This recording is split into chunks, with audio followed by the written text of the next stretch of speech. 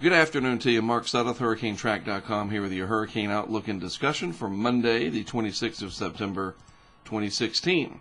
Obviously, the big story this week will be what happens with 97L down here, eventually going to become Tropical Depression 14, and shortly after that, more than likely, Tropical Storm Matthew as it moves in this general direction over the next several days. The first area of impact will be the uh, Windward Islands, and we'll talk about that in just a moment in more detail. Here is the system starting to come together nicely. Upper level anticyclonic flow really starting to show itself. The lower level cyclonic turning, much more evident now, banding of the showers and thunderstorms, and this is well on its way to becoming our next tropical depression. Notice, too, how large this system is. It's not a very small, like here's the leftovers of Lisa, for example. This is a much larger area of influence in the tropics, pulling in energy over a large area. And therefore, as I mentioned in my blog today, focusing on where any potential center develops and tracks, just as an example, if this red line were to be the center of the system and it tracked right along that center, you say, "Well, I'm up here in Barbados. I don't have to worry about it." Yay! Um, no, that would be incorrect because look, half of the circulation up here would move right over you. So we have to focus on the impact of the overall system and, and not the center of circulation with something like this, because unless it's a hurricane and a well developed one at that, the center of circulation doesn't matter that much. And really, it only matters in the intense hurricanes uh, because that's where, around the core, the worst of the winds usually are. In a larger, sprawling, developing system like this, you could have tropical storm conditions spreading over a fairly large area well away from where that center were to track. So let's just keep that in mind, all right? So the vorticity signature of it right here, the spin in the atmosphere, increasing. Remember, this came all the way from Africa and has made it all the way to this point gradually getting better organized as it has done so. Here's an, a look at those upper level winds fanning out in a clockwise fashion, and it's all systems go for this to develop. No impediments to really see in its path. Maybe if it interacts with the north coast of South America, we'll have to see about that. And then, of course, if it gets hung up over any of these islands over here, but that's farther down the road, we can talk about that when and if the time comes upper ocean heat content, the very warm water, not only at the surface but extending deep below, very high across the western Atlantic basin right now. And this system will be moving into increasingly warmer and deeper warm water, and therefore lots of energy for it to tap into. So let's take a look at the morning run of the GFS. I'm only going to go out to five days.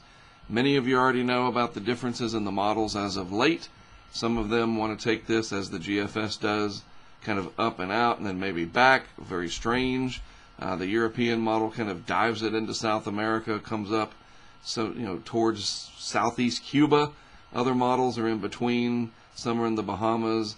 The ensemble prediction system has some of the models way over here. So there's a lot of uncertainty, basically uh, anywhere from Cape Cod all the way down to Central America and even Texas. You just want to watch it. You know, should you be concerned? No, not yet. But you just want to keep an eye on it. If somebody told you that there was a large tiger roaming around your neighborhood, you know, you certainly want to look out the window and keep an eye on it. See if that tiger comes into your yard.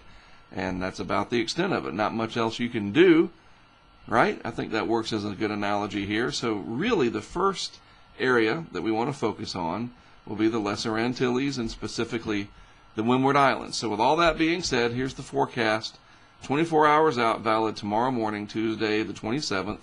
And there it is in the 850 millibar vorticity, uh, showing up pretty good. And you can see the outline of the big ridge of high pressure here, keeping it squashed down to the south. Moving out to 48 hours, it starts to increase in its vorticity signature, showing me that it's getting healthy.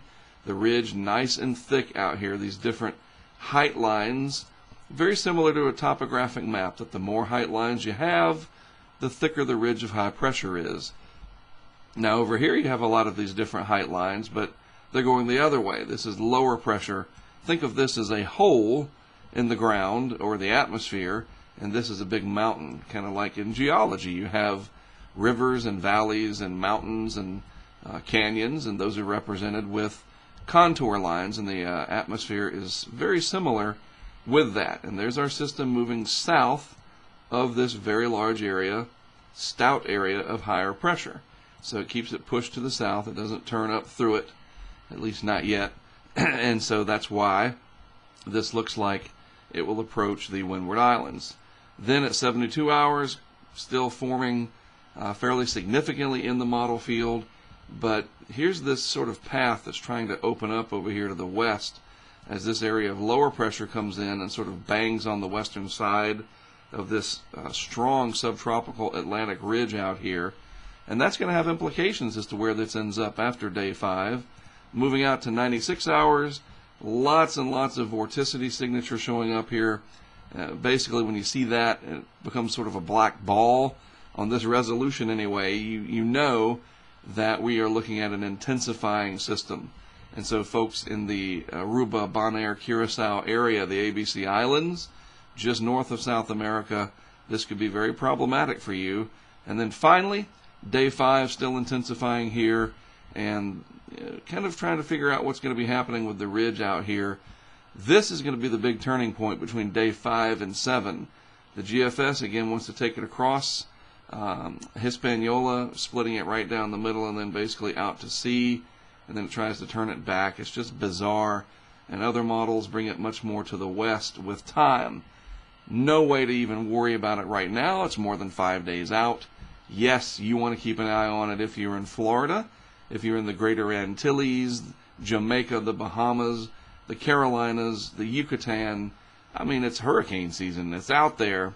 I won't say it again. You just need to watch it, all right? I don't know where it's going to go. I really wish I did. Trust me. It would make my planning a lot easier, for one, and certainly would make it easier for everybody else. But unfortunately, we don't have that luxury. Now, let me go to the higher resolution of the GFS uh, map version here that I can show you how this system tracks into the Caribbean. There is Barbados. In fact, let me jump over here and show you a map so you can get geographically oriented. Barbados, the easternmost island here, and then you have Martinique, St. Lucia, St. Vincent and the Grenadines, Grenada, and finally Trinidad and Tobago. And so with all that being said, let's take a look at what happens. You remember all that?